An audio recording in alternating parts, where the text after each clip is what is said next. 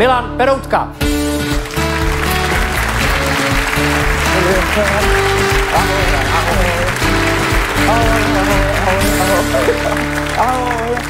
Ahoj. Ahoj. tak, dobrý večer. Dobrý večer, posaď se u nás. Uh, já se tě chci na něco zeptat, jo? Já mám občas takový sklony, že začnu uh, moderovat, uh, když tak mě zastav, jo? Prosím tě, dáváš to, ještě vnímáš, co ti tady hosti říkají, nebo už ne? Co jsi říkal? Protože teda klobouk dolů nebolí tě hlava. Bolí. Prosím Máš tě, já mám pro tebe eh, dáreček, tady trošku cukříku, abys doplnil. Jo, to je bombónek. A nyní začne dárečkové PR kolečko, poprosím tuto část nevystřihávat. nemluvil, Vojto. jo? Co? Tak to abych nemluvil. Ano, vem si to. A tady ti dávám ještě, pokud tě bolí zadnice, můžeš si to dát pod zadek, to je náš polštářek novému CD. Mhm. a tady ti dávám to nové CD. Tak, a teď jsem si odbil, co jsem ti chtěl říct. Mhm. Mám mluvit ještě, jo? no, tak jo, tak nový CDčko, no, tak musíme to ukazovat, protože uh, dneska, já nevím, kdo z vás poslouchá ještě CDčka, nebo jestli máte nějaký přístroj, který přihrává CDčka. Máte? Cože?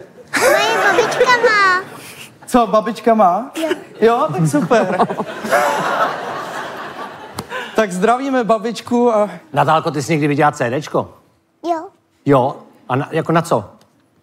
Nebo jak se to používá? V autě, veď?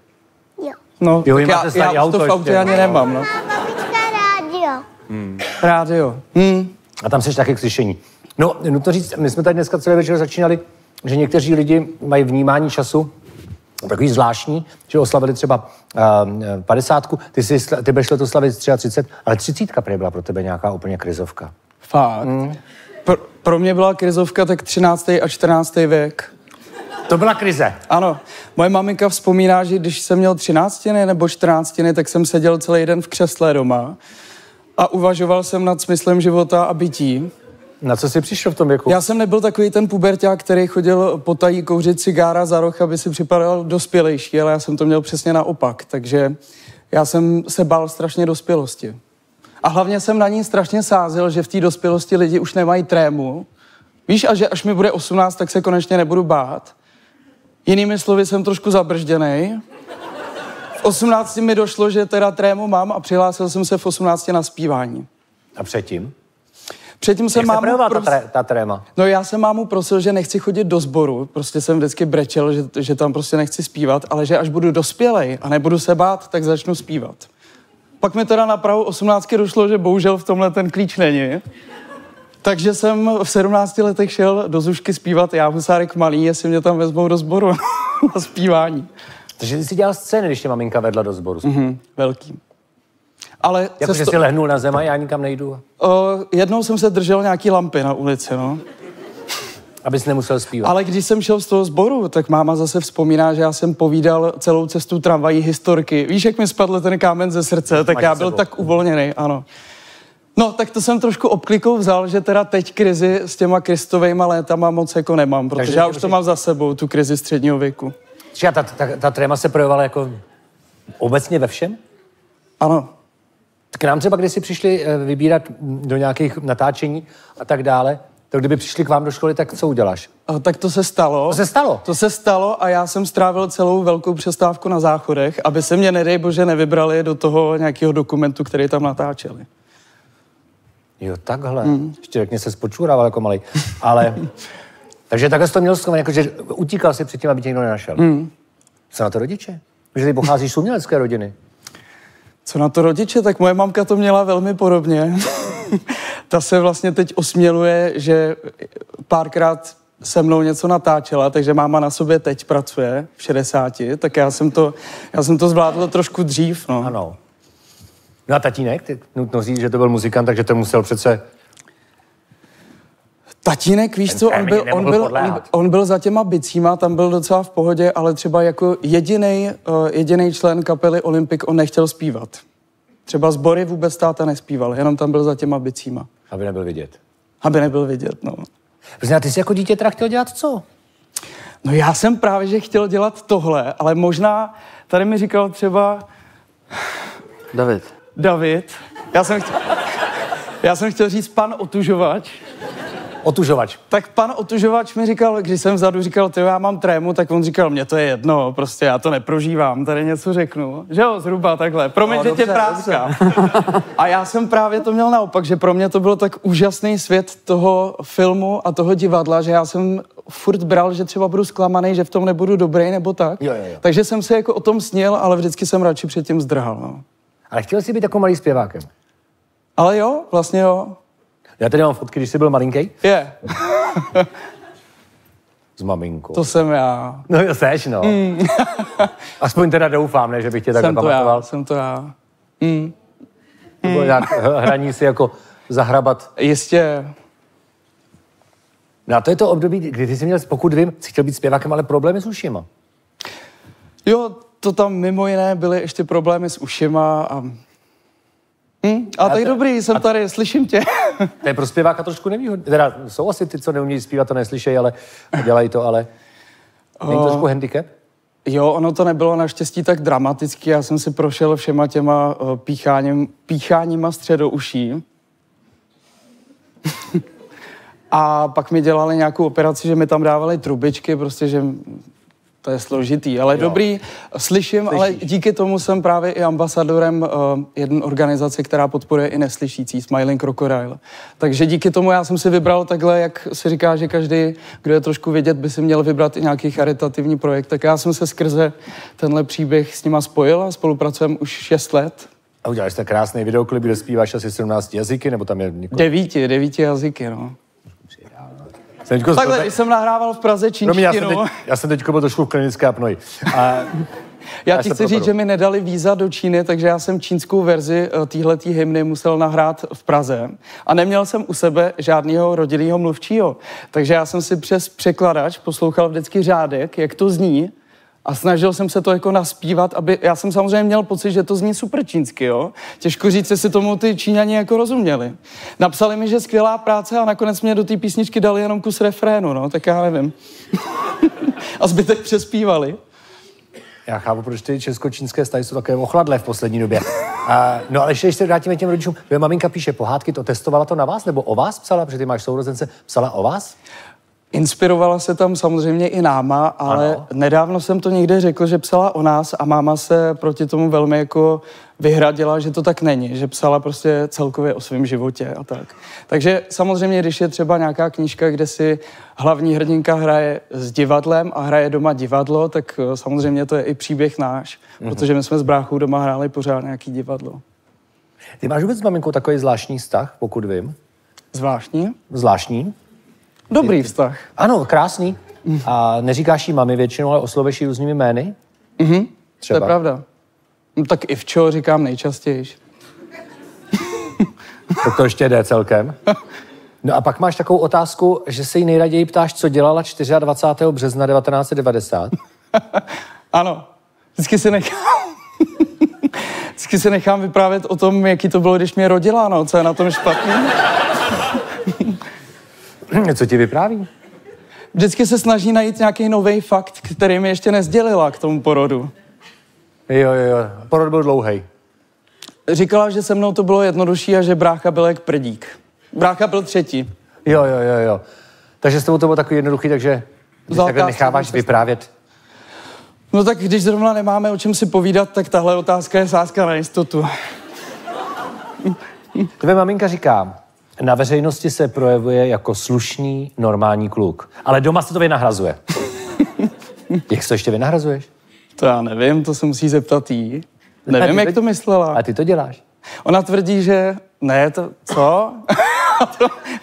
no ne, tak, eh, tak samozřejmě například včera, když jsem jí ukazoval něco na telefonu, tak eh, jsem u toho občas trošku nervózní samozřejmě, že jo. Když nechápu, že to, To záleží, co na tom nechápu. telefonu ukazuješ. Uh, jak ho odemknout třeba, stačí, stačí jako, já říkám, mami, když to používáš ten telefon už několik měsíců, já jsem obdaroval svoji rodinu uh, chytrýma telefonama teď o Vánocích, aby jsme měli všichni stejný. A tak samozřejmě se na tom stále učí, no, ale tak to asi znáte všichni, že to občas není jednoduchý, že jo. Z rodiči, Že jo? No, z rodiči. Že občas na ně jsme trošku jako přísnější, ale to samozřejmě nic neznamená. Máme hezký vztah. Jo. Jo. Teď nevím, u koho jsi to rozlil víc, jestli u těch dětí nebo u těch rodičů. No a prosím tě, s tátou, tak ty jsi musel vyrůstat obklopený různýma cenama pro skupinu Olympik. Měl jsi v pokojíčku? No, můj taťka to vždycky ty slavíky házel někam do šuplíků. A já jsem říkal, ne, tati, to musíš vystavovat. Takže u nás slavíci byly na mojí poličce nad mým stolem vystavený. Jo, ještě než jsi začal zpívat, už jsi měl několik slavíků Ano, já doma. jsem tam vystavoval slavíky. Zval si domů holky na sbírku slavíků? Eh, Zval jsem domů holky na sbírku slavíků, až jednoho krásného večera táta říkal, kde jsou ty slavíci. Co to bylo za spolužačku? Zůstaly nám tam, prosím tě, jenom krabičky prázdný. Tak pak jsme pátrali, jaká, jaká slečna to udělala. No, našli se u ní ve sklepě, takže dobrý. Tvoje slečny kradly vaše slavíky? Tak asi se jim to líbilo, vypadalo to hezky na, na, na blejštěně, tak eh, nevím, no, tak asi každý nerozumí tomu, že to není suvenýr, který si po návštěvě může vzít domů. Takže už jsou zase zpátky v šuplíku. Jo, jo, spolužačka, kleptomanka. A to bylo to období, kdy jsi nějak jako byl úplně posilý Titanikem? Ano, to je to období. A ty jsi měl nějaký těžký průběh, jo? Mimochodem, já mám doma teď stavebnici Titaniku. Včera jsem začal skládat, do noci přísahám včera. Je tam asi 10 tisíc kousků, zatím teda jsem začal skládat něco, co vypadá jako přijít, ale ještě pár večerů s tím strávím. To mě baví strašně, no, skládat. Chápu, no a co s tím Titanikem? Pak to dám někam na poličku. No ne, myslím jako, že ty jsi byl takový fanoušek, že jsi měl úplně všechno. to je pravda.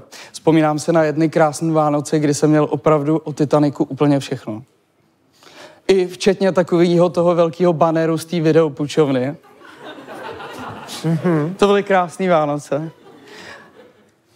A jako jak se ti to stalo, nebo to tak jako...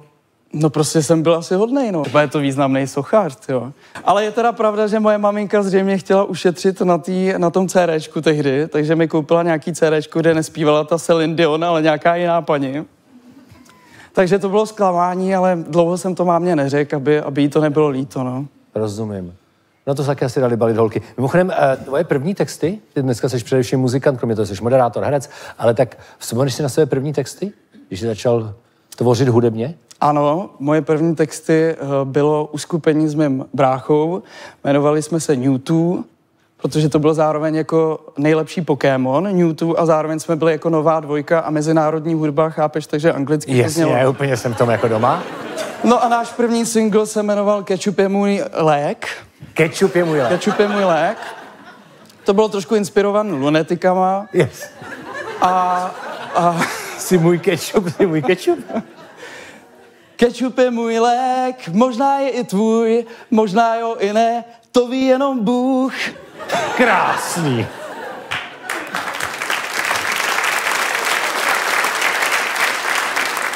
Pamatuju si náš první single do teďka, takže vidíš, že opravdu to byl prostě dobrý single. Já jsem ještě něco, něco o lásce. Jsem na- narazil, že jsem měl jako písničku o lásce. Jo, už vím. Voní to jako láska, smrdí to jako pukavec.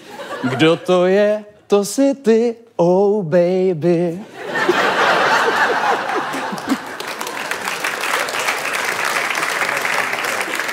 Já jsem zvědavý, jestli budete takhle tleskat i po našich současných písničkách. No, lepku si nasadil vysoko. doufám, že tam ucítíte jistý progres. Od toho pukavci, jo. Prosím tě, eh, co- na to rodiče? Na naší tvorbu. No. Počkej, musím zavzpomínat. Eh, Já myslím, že nás v tom podporovali. No, jako naše první nahrávka na kazetě skončila bohužel špatně, protože tehdy uh, se natáčelo na kazety, uh, co dávali v rádiu, že jo? Tehdy si to lidi nemohli jako najít na, Ano. na internetu, takže se to nahrávalo na kazetu, takže můj bratříček pak naší první kazetu přejmenoval na Diskohity rádio a vzala za svý, byla přemazána. Zůstala jenom v srdcích. Nenávratně takhle ztracena. Mm. No a doma, tak to, táta to musel nějak posuzovat. Nebo co jsi po- zaspíval tátovi jako první? Pukavce? Nebo?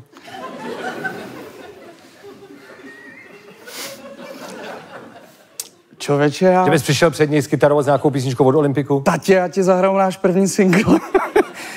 uh, pamatuju si, že poprvé jsem zpíval na mikrofon písničku Jasná zpráva před, před svým taťkou. A pamatuju si, že táta k tomu neřekl vůbec nic.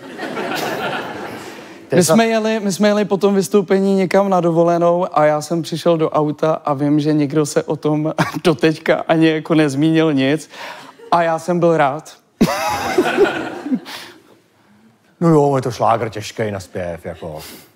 No, takže pak už jsi se, no, ale já vím, že taky ve Španělsku si tvořil, že tam, že jsi byl na stáži v Malaze. Přesně a tam, že tak. jsi tvořil. No tam Na jsem... půdě se zavíral a skládal si písničky si můj pukavec o mi amore. Ne, tam to byly trošku jinačí písničky, tam se přesouváme do mých 22 let. Tam to nebylo smrdíš Takže jako puberta. pukavec. A takže puberta. A tam jsem, prosím tě, ve Španělsku dělal v Podmorském muzeu. Měl jsem to jako praxi ke své škole. No a prožíval jsem tam zlomené srdce a zavíral jsem se tam, teda když jsem nakrmil všechny ty ryby v tom muzeu, tak jsem se tam zavíral na půdě a skládal jsem tam teda první písničky. Já jsem neuměl hrát na kytaru, neumím hrát na kytaru do teďka, což se teď poprvé projevilo jako, jako problém, protože zkouším novou eh, činoherní roli, kde hraju dobrého hráče na kytaru. Což mi řekli po první zkoušce, že nevěděli, že nehraju na kytaru, takže mám dva měsíce na to se to naučit do premiéry. No a eh, tam jsem se dal dohromady s nějakýma eh, španělskýma kytaristama mm-hmm. a začali jsme hrát moji první tvorbu. Já jsem jim vždycky svojí španělštinou řekl, o čem to je. No a tam přijeli právě rodiče a já jsem je pozval do baru, aby si tam poslechli moje první písničky. No. A tehdy mi dali jako zelenou, zelenou, že táta řekl s mámou, držíme ti v tom palce a protože věděli, že mi to nějakým způsobem pomáhá, víš? No. Chápu. Ale nicméně pro jistotu jsi ještě vystudoval. Ty jsi inženýr, ne? Mhm. Mm-hmm. Kdyby náhodou mm. to nevyšlo. Mm-hmm. A kdyby to vůbec nevyšlo, tak jsem mi říkal, že by se viděl třeba jako zmrzlinář, to mi přijde sympatické. To byste si rozuměli s Davidem možná. Už jsem mu ukazoval v zákulisí svoji fotku, že se taky otužuju. Prosím tě, jak jsi daleko? O, byl jsem v jednom hotelu, kde byla otužovací káč, tak jsem tam třikrát vlezl a už v tom hotelu nejsem. Dobře, no kromě toho, že ty děláš spoustu muzikálů, teď jsi k vidění třeba uh, Okno mé lásky a v řadě dalších, divadlo Broadway, Ano, tak uh, máš... T- des- divadlo Kalich taky a divadlo Bez zábradlí.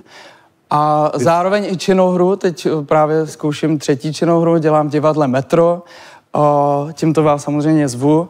A jsou to všechno komedie, docela mě to baví. Mám rád, když se diváci smějou. No. je to lepší, no. Je to lepší. Hlavně, než no. to od nich čekáš. Ale víš co, mě to vždycky strašně překvapí.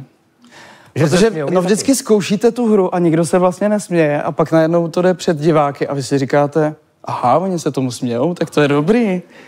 Takže mě to vždycky příjemně překvapí, když hrajeme komedii a slyším smích z toho publika, no. Tak to mě baví, rád Chápu, komedii. chápu, taky bývám mm. příjemně překvapen. Eh, Ale prosím tě, ještě k tomu debitovému albu, na to bychom neměli zapomenout. Já vím, že tehdy uh, se dost často říkalo, že to album už je na spadnutí. Ano. Ano, já tady mám takový uh, sestřih, to myslím, že udělali tví věrní fanoušci. natáčet desku. Brzy vydá kapela Perutě své debitové album s názvem Žij a tancuj. O, kdy vyjde, o, víme zhruba termín, mělo být po prázdninách. Je to neskutečné, ale já už mám hotové mixy. O, to, bude to určitě do léta. Po prázdninách do léta. vyjde koncem výbra, koncem výbra. A mi na rozkyt v březnu. Vyjde na podzim, jde na podzim. No, kolik let jste ho vydávali? No, takhle. Tohle je druhá deska. Ta první deska vycházela cca pět let a mluvil jsem o tom všude. Ano. Teď Mě to právě zvolil, zaujalo. Zvolil jsem s druhou deskou opačný postup. Já jsem o tom nikde nemluvil a pak jsem ji vydal. A má to úspěch? Komerční? Já doufám, že ano. Ano.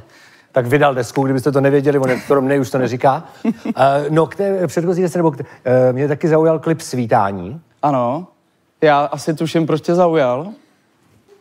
No nevím, můžeme si pustit ukázku. Ne, mě zaujal, že taky je hodně hororový. Jo, podívej, krev. To mě zaujalo. Ano. O tohle taky teda, ale A jsme tam. tak prosím tě, mě to... Uh, introvert si říkal, jo? No, já mám na to takový hořko-sladký vzpomínky, nikoliv na ten klip. Já jsem rád, že ho mám. Splnil jsem si sen o natáčení hororu.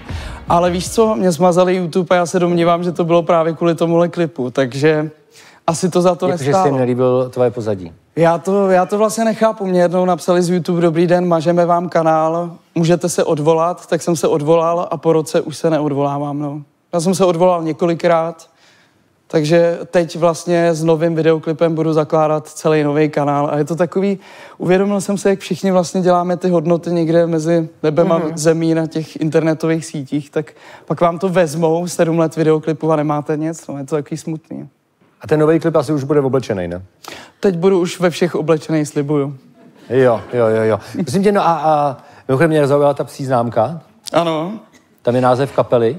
Eh, Tam je název kapely a já jsem eh, vždycky eh, zvukařky, zvukaři protestují, že nechtějí, abych to měl na krku, protože tady mám mikrofon, Ano. tak dneska se mi podařilo to obhájit a říkal jsem, že určitě se o tom budeš chtít bavit, takže děkuji ti, že mám argument, proč jsem ji nakonec nechal na krku. To je náš merch takzvaný, protože ta hudba dneska je spíš pro radost a vlastně k tomu děláš ty trička a polštářky a tak dále. Mimochodem příjemný polštář. Jo, děkuji, výborný. Jo, super. Ten si nechám, dáme to dám Natálce, ta jediná má CDčko tady, ale No, takže tohle je součást taky našeho, našeho merchu. Peru tě to vás napadlo, jaká to logo? V svém Perutě nás napadlo tak, že jsme vůbec nevěděli, jak se budeme jmenovat a řešili jsme to zřejmě v kavárně tak nahlas, až eh, vedle nás pán přišel, povstal od stolku a položil přede mě vizitku, kde bylo nakreslené logo i název. A já jsem se na něj podíval a říkám, tak jo, to se mi líbí. Takže nám to vymyslel nějaký pán, kterého tímto zdravím. Už jsem ho nikdy neviděl. Byl to snad nějaký sochař, podle té vizitky jsem pochopil. Tak třeba je to významný sochař, jo. Ale jako už si ho ani nevybavím, jak vypadal, takže pane, pokud to slyšíte, tak mi klidně napište a, A a nezapomeňte děkuji vám. poslat fakturu. Logo se evidentně ujalo. No prosím tě, a, a ty nám zaspíváš něco z nové desky? Ano, prosím. Mohlo Velmi by to rád. být? Jo? Mm-hmm. Tak se na to pojďme připravit. Tak jo. Milan Peroutka.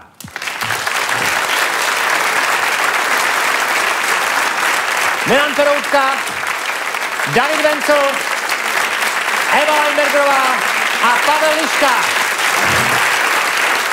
To? Ačkoliv to, že vypadá, že to jsou herci, kteří jsou zvyklí se na konci děkovat, není to pravidlo. Našimi dnešními hosty byl Pavel Liška, Pavel Liška, jo, Eva Weinbergerová, David Vencel s Natálkou a Milan Peroutka.